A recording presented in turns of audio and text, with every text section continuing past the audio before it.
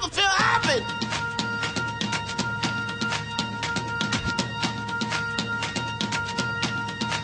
Never feel happy.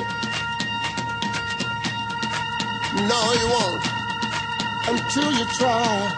You never feel happy.